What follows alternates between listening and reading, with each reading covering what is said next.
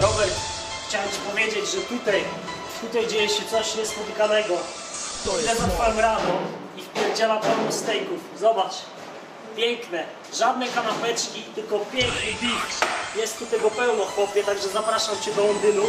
Przyjedź i skosztuj. Pozdro od szefa Arkadego. Nara. To jest moc mięśni, to jest siła pięści Wygra silniejszy